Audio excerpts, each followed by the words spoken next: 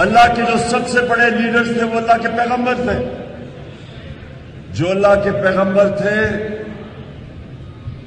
वो अवाम में निकल के पैगाम अल्लाह का लेके गए थे। आपने भी बस बस। आपने लोगों के पास मेरा पैगाम लेके जाना है।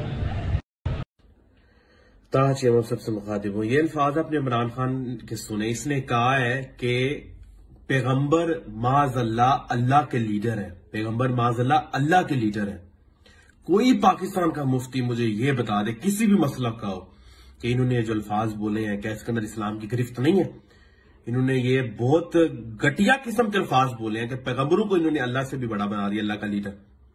मान लिया इनकी नीयत नहीं थी। इसको नजरअंदाज कर दे। मान लिया। लेकिन क्या इनको इसके ऊपर माफ़ी नहीं मांगनी चाहिए?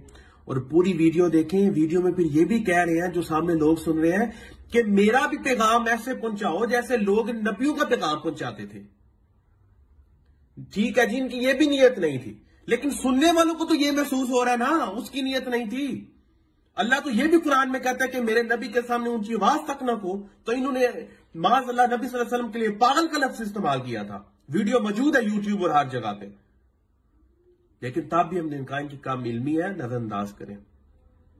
इन्होंने ये कहा कि मुझे अल्लाह ऐसे तैयार कर रहा है, जैसे नबी वसल्लम को तैयार कर रहा था। हमने इन्हें कहा इनकी काम इलमी है, इसको नजरअंदाज करें। इन्होंने कहा, मेरे डरने की गर्मी ऐसे जैसे जहन्नम की गर्मी है। हमने कहा, इनकी काम इलमी है, इसको नजरअंदाज करें। इन्होंने दाढ़ के बारे में अल्फाज बोले। इन्होंने माल गनीमत को लूटा हुआ माल कहा, साहबा के बारे में अल्फाज बोले।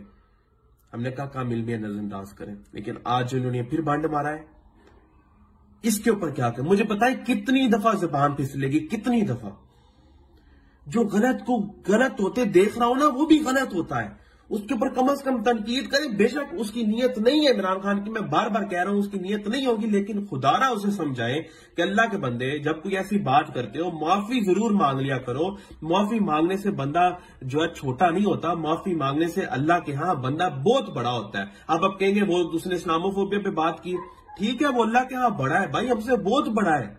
लेकिन ऐसे अल्फाज खुदारा उसे कहें कि ना बोले कि जिससे उम्मत मुसलमान को तकलीफ़ पहुँचे।